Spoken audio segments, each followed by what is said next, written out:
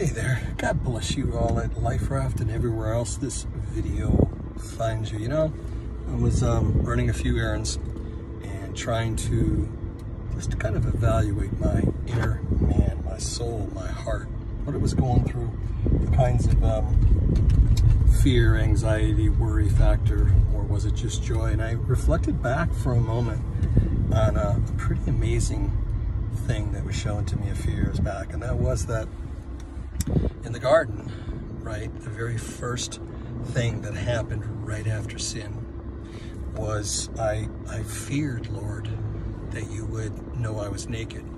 And if you think about that, here's sin. All of a sudden, it changes our very DNA.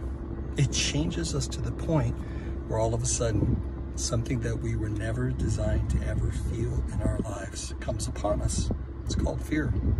Now, it's interesting because science is finally catching up with the Bible, the Bible. And if you look around and you think about quantum physics, these are, I'm talking about non-agenda driven science. You know, believers are naive when they don't understand that non-agenda driven science always confirms God. And it's either that or we don't understand some things yet. So let's take quantum physics. There is a quantum field that we've now been able to understand. It has not three or four dimensions, but it has 10. Now, here's the interesting thing about this quantum field. It has a thing called photons at its very quantum core. And there's an incredible experiment that they did where they took photons and put them into a vacuum and they did nothing. And then they inserted into this vacuum, just imagine a clear, you know, um, jar that you do jarring with for fruits and things. And they put a DNA in it. And immediately the photons reacted, responded, and changed because they recognized the DNA. Another interesting experiment they did is they took our DNA and they found out that our DNA will actually, if you separate it from the human being and put a distance of 400 miles, that's probably just because that's as much as we can measure at the moment, scientifically speaking, that DNA changes at the exact same time as the person who has that DNA does. In other words, if you scare me and my DNA is 400 miles away, my DNA automatically knows it. Another interesting experiment is uh, it's called the life of a plant. I've talked about it a lot of times. I would tie it into something different here.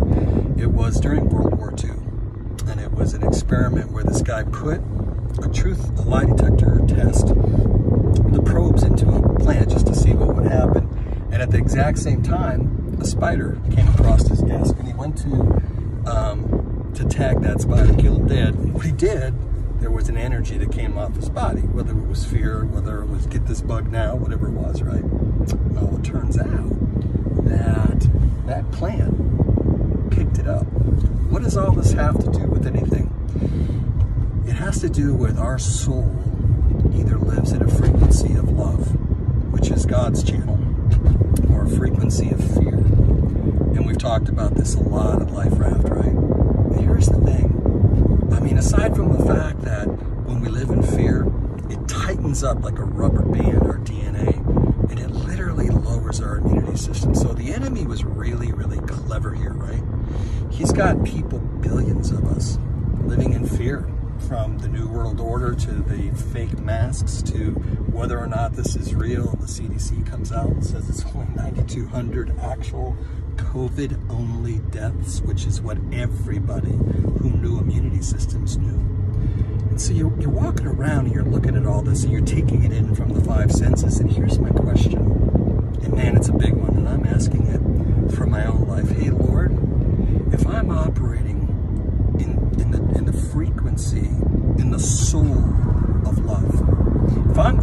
Out of that frequency, your word promises me that perfect love casteth out all fear.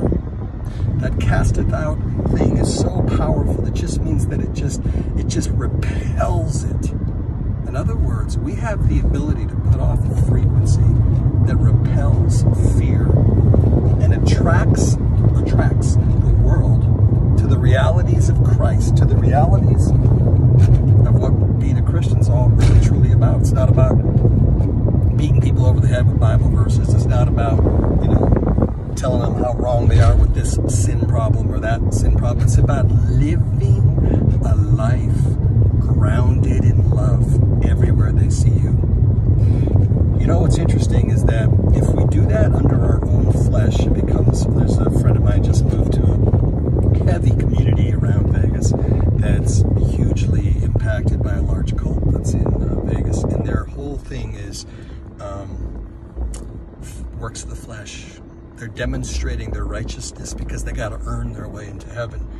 So if you're doing this by your works of your of the flesh, it's not a genuine transformational experience. We're not trying to have a bigger, better God. We're trying to seek truth. We're trying to share truth and love. And you know what we should really be focusing on, right? Seek ye first the kingdom of God, his holy righteousness. The kingdom of God is centered